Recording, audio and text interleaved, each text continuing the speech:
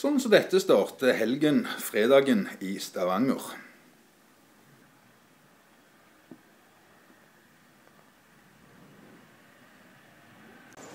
Akkurat når vi trodde at eh, frosten hadde gitt seg for godt i Merida, så opplever vi dette.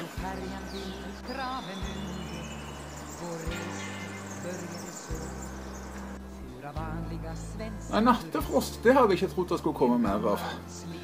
Vi har jo hatt en del nattefrost. Og det er jo helt uvanlig i Merida. Og så kom det igjen. Men som dere ser, det, det varer jo ikke, altså. I dag så får vi iallfall en fin dag. De to siste dagene har vært tåkedager. Skal vi se hvordan langtidsvarselet er. Om det finnes noe håp for ytringsfriheten òg. Det blir litt sol i Merida, men det blir bare 14 grader. Men det blir jo bedre etter hvert år. I hvert fall om en måned begynner det å bli veldig mye bedre. Vi får håpe på mer varme. Sentral-Europa angripes av muslimer. Ytringsfriheten er trua. Vi må stå opp mot muslimistisk undertrykkelse. Ytringsfriheten er det viktigste i hele verden. Den er faktisk mye viktigere enn det drittværet de har i Stavanger. De har drittvær i Stavanger, det er veldig beklagelig.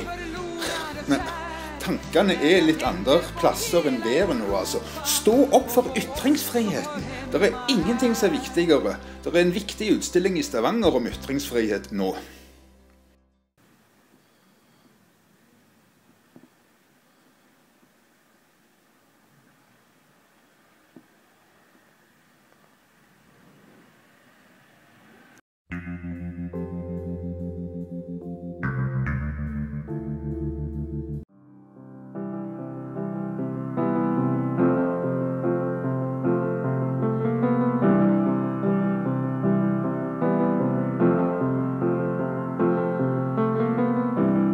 Imagine there's no heaven.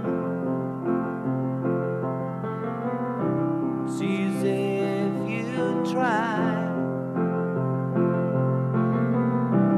No hell below us.